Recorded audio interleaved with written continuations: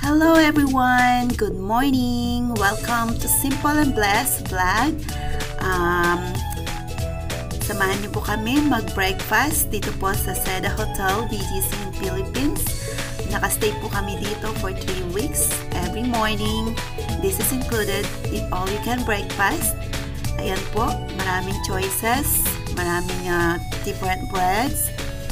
At um, mag enjoy din po kayo sa napakaraming choices sa meal. At uh, ayan, may suman po. Napakasarap din yan. Um, Lalo-lalo na po ang gusto ko po dito ay yung um, nila, yung soup. Lagi ko po yan inuuna kasi pwede po kayong mag-request kung anong gusto nyo pong ilagay sa soup nyo. And then, um, yung omelette eggs. So, it depends sa iyo kung anong gusto nyong toppings na ilalagay. Pwede nyo po ipaluto. Ayan, enjoy po kayo. Let's eat!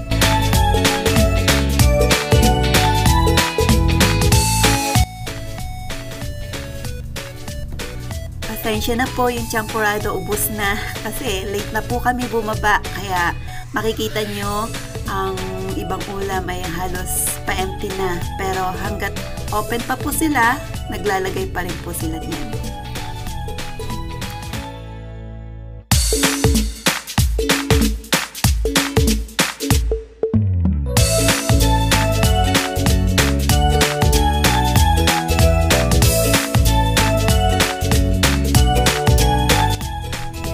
O sa mga balak pumunta sa Baguio City, kapag hindi pa po kayo nakakain dito sa Good Taste Restaurant, subukan niyo po ito. Mare-recommend ko po talaga sa inyo. Lahat ng order po namin napakasarap. Lahat affordable prices at saka sulit. Kaya subukan niyo po. Nung pagpunta po namin dito, napakahaba ng pila. Pero sabi nila, mabilis lang daw. So sinubukan po namin, naghintay po kami. Totoo naman po, hindi naman po nagtagal. Nakapasok po agad kami at nakaupo. Pag-order po namin ng pagkain, ang bilis din po ng service nila. Kaya subukan niyo po, lahat po masarap. Yung halo-halo po nila, the best. Grabe, ang daming laman. Kaya hindi namin naubos kasi ang dami pa rin na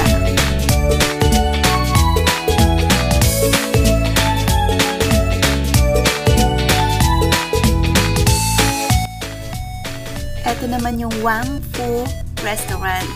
Um, makikita nyo ito sa BGC. Uh, dito ko dinala yung tita ko, mga cousins ko.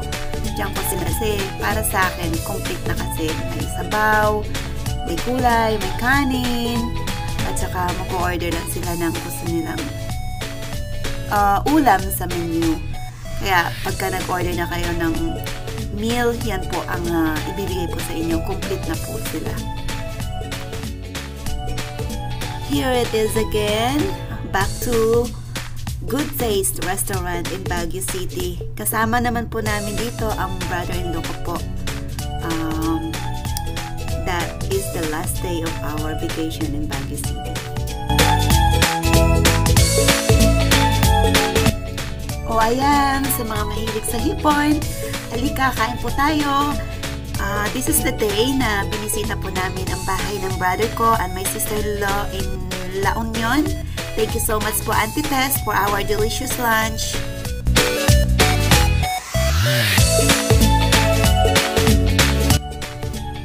Ito naman po, yung kumain po kami sa Max Restaurant in BGC. Inuna ko po talaga dito yung ano, uh, buko gulaman, I think. And then, uh, yung halo-halo. Kasi sabik po talaga ako sa ganyang dessert na Pinoy dessert talaga.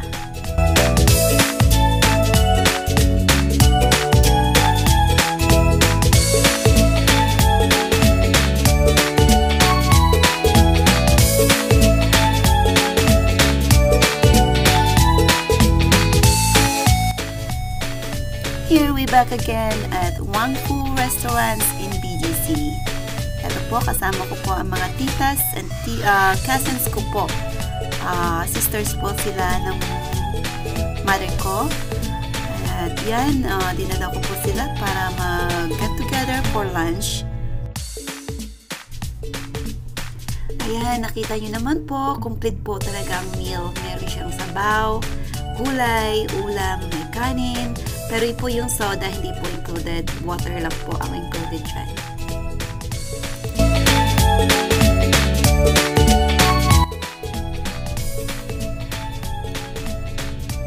Hello everyone! Kain po tayo!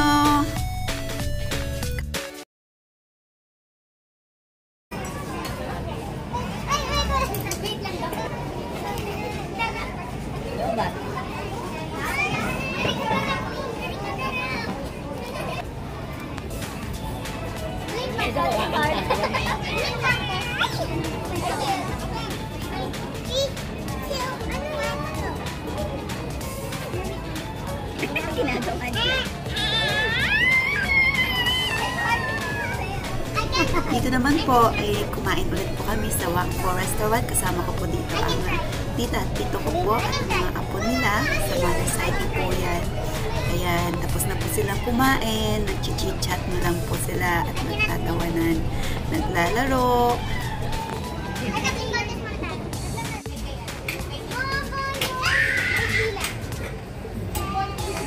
Lovely, tingin ka.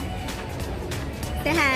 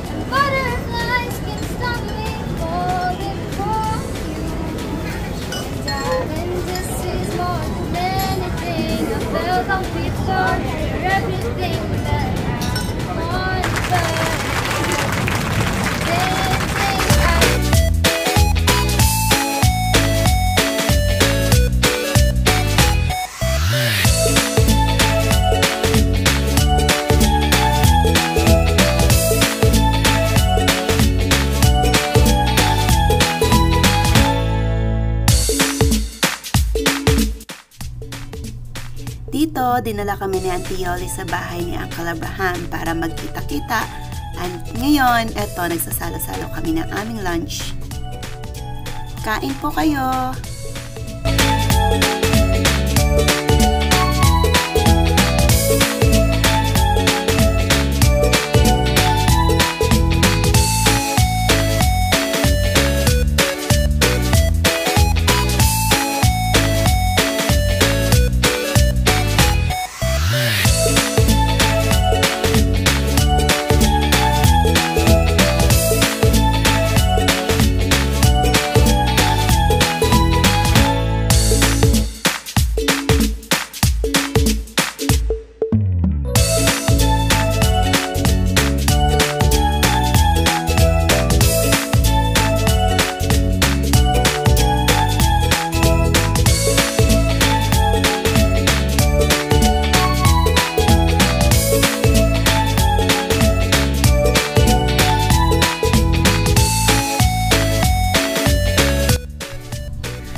last meal po namin yan.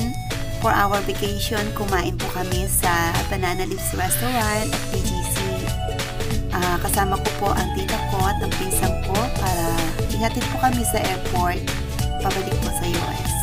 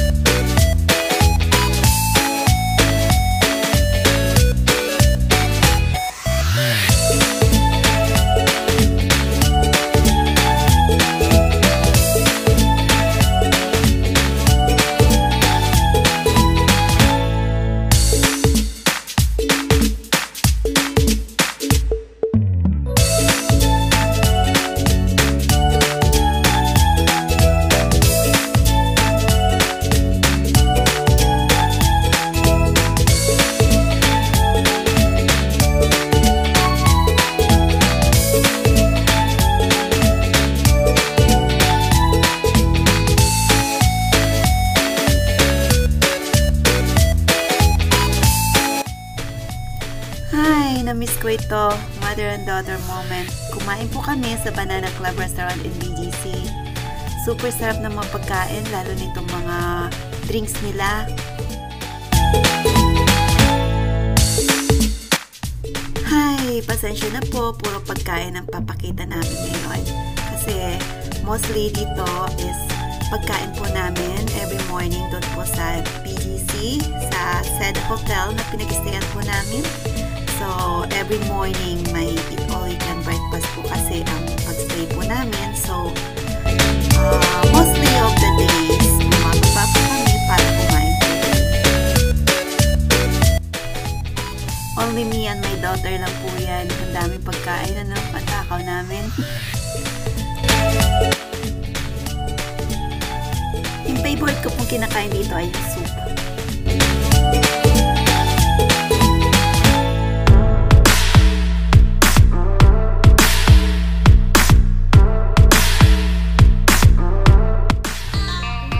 Naman po makikita nyo ay ibang araw naman po ito kaya ang dami na naman magpagkain makikita nyo sa table. Enjoy po kayo! Napakasarap nitong taho guys. Super sarap. Binibili po namin pag may night market po dun sa PGC. Ito naman mga pagkain na makikita nyo ay kumain po kami sa Wang Fu Restaurant. At this time, first time po namin kumain yun doon. Napakasarap.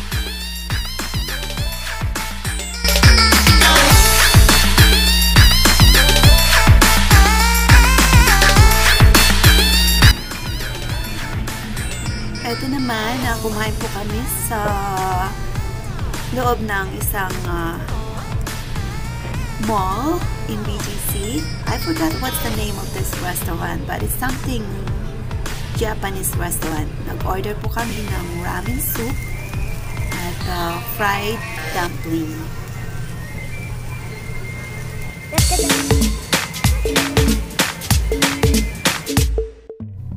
This is the line for eat all can breakfast guys.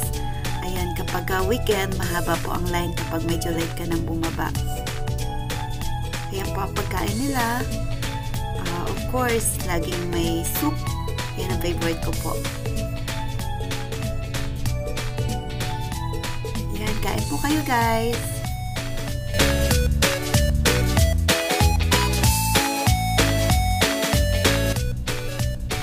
Ang sarap po magstay dito sa Seda Hotel BGC kasi every morning ganito ang makikita mong breakfast. Marami kang choices.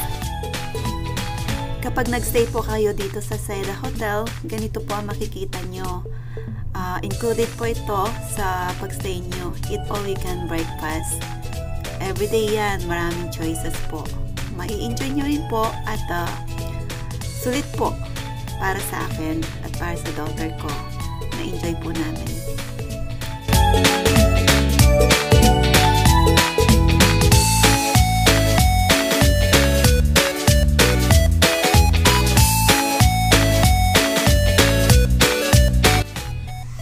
Naman, late dinner po namin ng daughter ko. Kumain po kami sa Mango Tree Restaurant in BGC. Uh, na-enjoy ko po dito yung seafood soup. Ang ayoko lang po sa kanila is matagal po ang service. This was very disappointing kasi hindi siya masarap. Lahat to matigas.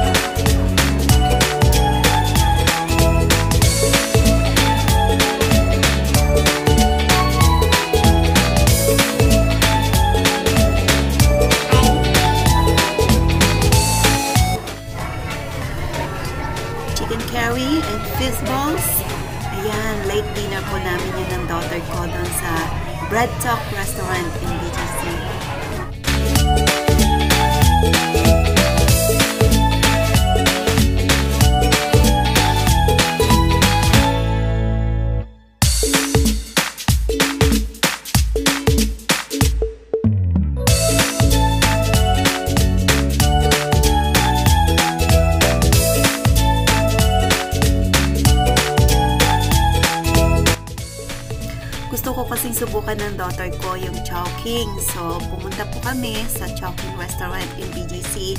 And then, nakita po niya yung pork, uh, siopaw, asado, at uh, nag-order po kami ng steam dumpling. Nagtatakam po kasi ako doon. Kaya yan, ang dami namin order.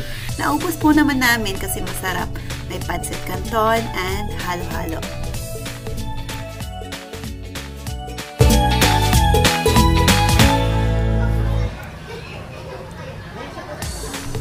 Dito makikita niyo ang daughter ko para magpapaiyak kasi super spicy yung order niya.